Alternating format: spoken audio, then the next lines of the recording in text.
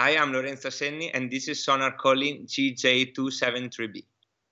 I think it's very common that the artists have influences coming from like outer space. Some of the most common references are like Blade Runner, Vangelis, soundtrack of Alien, and uh, most of the time when you make music thinking to space or the aliens it's more like just your imagination that goes there. But actually this time we are doing it for real and we send the music for real. I don't expect uh, like a reply or an answer but um, who knows?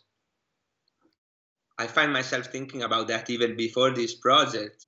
If we see how the technology how fast the technology goes for us I cannot even imagine how it can be like for another race, or aliens, whatever. Like can be small like atoms or big like you know planets.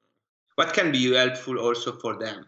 Someone can come from the outer space and maybe they need plastic bags that we throw uh, in the trash and we try to recycle and they, they survive only eating them so that could be great we will need someone very similar to us in order to understand what we really want to communicate with this music. So basically, I sent them something that represent me and represent also my relationship with Sonar. The very first thing I did was laser and sound installation for the 20th anniversary.